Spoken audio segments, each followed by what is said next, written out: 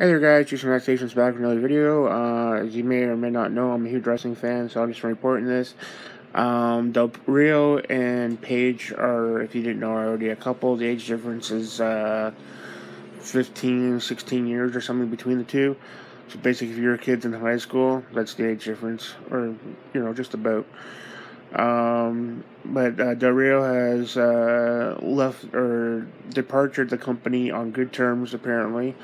Um, Paige has um, not uh, gone, the, fortunately, the same route. Um, she, they both got busted for the, the wellness policy, and Paige is uh, was apparently uh, contacted by uh, the head honcho or something like that, talent, the Mark Carrano, whatever his name is, and said that uh, he wanted uh, Paige and Del Rio to go their separate ways because there were a couple, and they both declined. So then there was a rumor. Well, I'm gonna call it a rumor, saying that uh, if Paige doesn't, you know, dump Del Rio, then they're gonna fire her. So she's apparently gonna. She's apparently uh, already quit um, WWE this week and has hired uh, legal represent or has hired uh, legal representation on her behalf to fight this.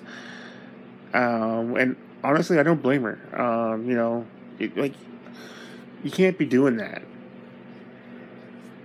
because it's just wrong. Like you have this anti-bullying campaign, but then you bully the talent to go their separate ways.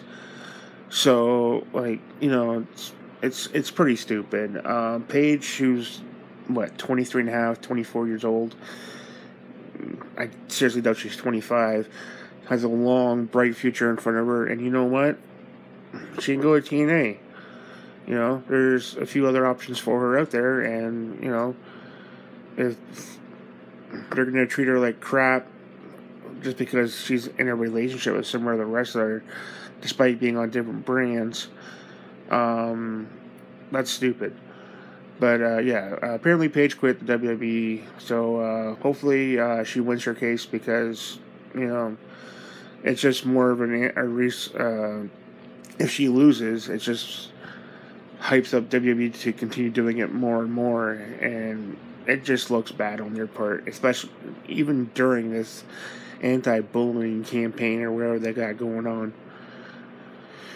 Anyways, that's it for me. I just want to let you guys know that Paige has quit the WWE. Thanks for watching. Bye.